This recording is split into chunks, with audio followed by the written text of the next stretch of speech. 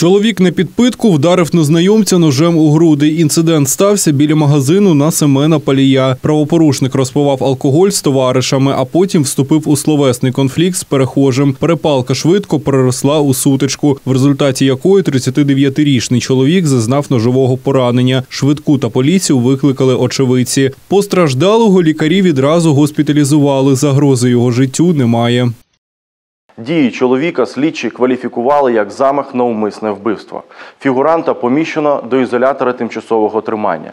Йому загрожує покарання позбавленням волі на строк від 7 до 15 років.